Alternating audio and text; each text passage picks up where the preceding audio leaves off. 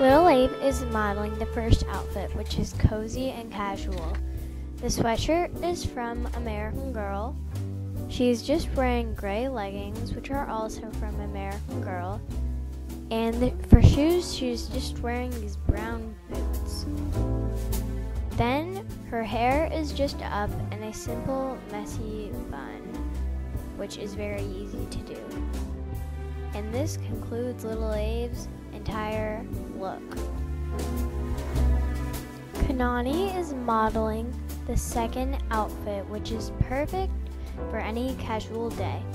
The shirt is from American Girl and it's red and it's from Washington, D.C. The jeans are just the regular American Girl jeans, and the shoes are from dollclothes.com.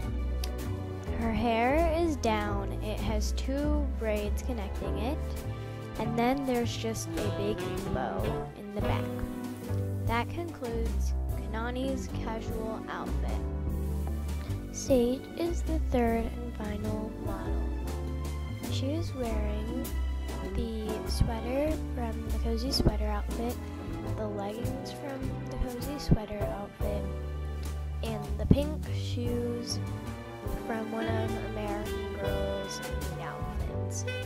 Her hair is just down and she has a braid with a pink highlight in it. And that concludes Sage's